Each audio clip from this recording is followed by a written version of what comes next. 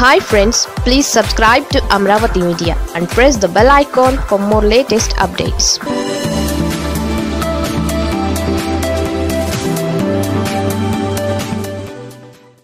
ఏపీలో అఖిలపక్షం అదో అర్థం కాని జడ పదార్థం. అఖిలపక్షం దాదాపు ఏడేళ్ళ నుంచి ఆంధ్రప్రదేశ్లో అఖిలపక్షం మాట వినిపించడం లేదు. చంద్రబాబు రెండు వేల పంతొమ్మిదికి ముందు మాత్రమే అఖిలపక్షాన్ని ఆహ్వానించారు. ఆ అఖిలపక్షానికి ప్రధాన పార్టీలు ఎవరూ హాజరు కాలేదు. ఇప్పుడు పవన్ కళ్యాణ్ మరోసారి అఖిలపక్షం ప్రస్తావన తెచ్చారు.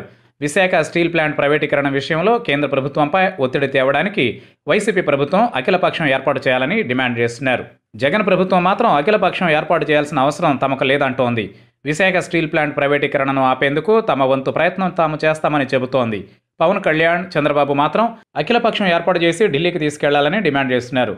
ఢిల్లీ వెళితేనే సమస్యకు పరిష్కారం దొరుకుతుందని పవన్ కళ్యాణ్ గట్టిగా చెబుతున్నారు. కానీ జగన్ మాత్రం అఖిలపక్షం ఏర్పాటు చేయడానికి సిద్ధంగా లేరు. గతంలో చంద్రబాబు ముఖ్యమంత్రిగా ఉన్నప్పుడు రాజధాని నిర్ణయంపై కూడా అఖిలపక్షం ఏర్పాటు చేయలేదు.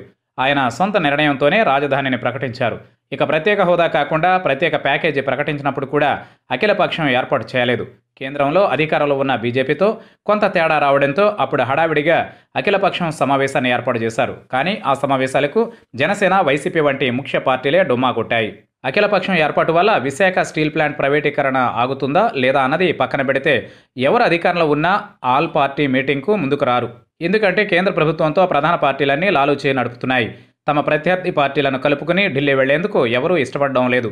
అప్పుడు చంద్రబాబు కానీ ఇప్పుడు జగన్ కానీ పొరుగున ఉన్న తమిళనాడు కర్ణాటక కేరళలో అఖిలపక్ష సమావేశాలను పెట్టి అక్కడి ప్రభుత్వాధినేతలు సమస్యను అందరిదిగా చూపుతున్నారు. కానీ ఏపీలో గత ఏడేళ్ళుగా అది కొరబడిందనే చెప్పాలి.